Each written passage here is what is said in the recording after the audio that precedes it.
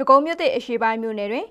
ကိုဗစ် -19 မျိုးရိုးဗီဇပြောင်းရောဂါအိုမီခရွန်ကြိုတင်ကာကွယ်ရေးအသိပညာပေးနှိုးဆော်ခြင်းများကိုဒီဇင်ဘာ29ရက်အမိုးလဲပိုင်းကရက်ကွက်များအတွင်သို့လှည့်လဲကအသိပေးနှိုးဆော်ဆောင်ရွက်ပေးကြောင်းသိရပါဗျ။အဲ့ဒီလိုအသိပေးနှိုးဆော်ရာတွင်ပြည်သူများအနေဖြင့်မျိုးရိုးဗီဇပြောင်းအိုမီခရွန်ကိုဗစ် -19 ရောဂါဟာမိမိတို့ရက်ကွက်များအတွင်မဖြစ်ပွားမီကြိုတင်ကာကွယ်နိုင်ရန်အတွက်ပြည်သူများအနေဖြင့်ကာကွယ်ရေးလုပ်ငန်းများဖြစ်တဲ့ ကိုဗစ် -19 ကာကွယ်ဆေးအားအကျင့်ပြည့်ထိုးနှံထားကြရန်ကိုဗစ် -19 ရောဂါကာကွယ်ရေးနည်းလမ်းများအတိုင်းတအုပ်နဲ့တအုပ်ခတ်ခွာခွာနေထိုင်ခြင်း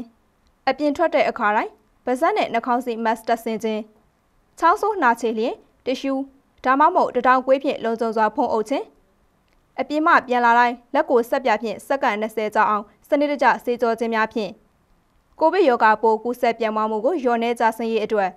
ပြည်သူတရလုံးကပူးပေါင်းပါဝင်ကြရန်အသိပေး သတိပေးခြင်းများကိုအသိပေးနှိုးဆော်ကြပြီး